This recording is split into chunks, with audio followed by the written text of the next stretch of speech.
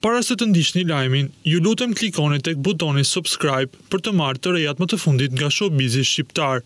Faleminderit. Këto shenja të horoskopit janë bërë për të qenë së bashku, krijojnë një lidhje shumë të fortë dhe nuk ka asgjë që mund të ndikojë mes tyre.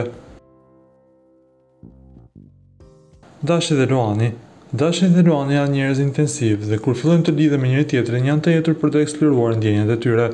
Për shkak të nevojës për vëmendje dhe respekt në çdo kohë, këto shenja ndonjëherë mund të mos bien dakord por me kalimin e kohës bëhen më të lidhur dhe nuk e imagjinojnë jetën pa njëri-tjetrin. Dashi dhe Luani do të qëndrojnë së bashku deri në fund pavarësisht pengesave. Ata ndërtojnë një familje me dashuri të vërtetë, ku nuk mungon hapësira për të ofruar mbështetje dhe ndjeshmëri në çdo kohë. Demi dhe Virgjëresha.